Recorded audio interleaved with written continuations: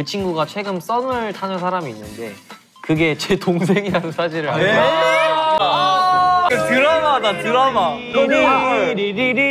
성훈이 얘기를 한번 들어봐야 될 것 같아요. 그러면 유일하게 여동생이면 아 니키도 있고 니키도 있고.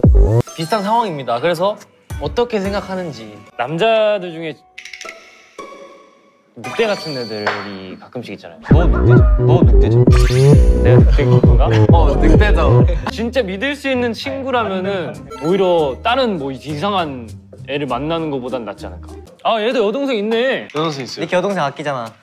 약간 공감. 근데 누나는 모르겠어요. 누나는 그냥 마음대로 하면 돼. 근데 제 기준에 괜찮은 남자인 친구는 일단 좀 기준이 높아가지고 와나 진짜 공감이 안 돼. 여자구나. 레일라 여자가 엄마 형